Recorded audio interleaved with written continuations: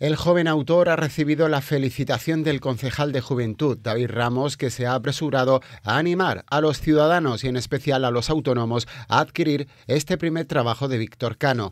El libro se podrá comprar en librerías y papelerías de la comarca y en Amazon, tanto en libro de papel como en libro electrónico.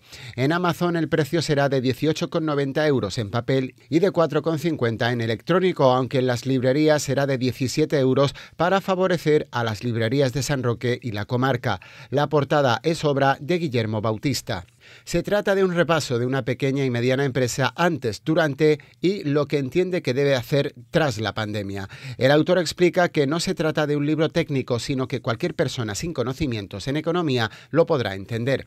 Cano, licenciado en Administración y Dirección de Empresas por la Universidad de Granada, asegura que le ha puesto mucho trabajo, empeño y cariño con el único propósito de agradar a los lectores. Víctor Manuel Cano Rojas nació en San Roque en 1984. Es director de San Roque Asesoría y Gestión desde el año 2008, en la que asesora a empresas en el ámbito fiscal, laboral y contable. Multimedia te ofrece la nueva aplicación para móviles disponible en Google Play y en App Store. Descárgate ya nuestra aplicación y disfruta de tu televisión en el móvil y mucho más.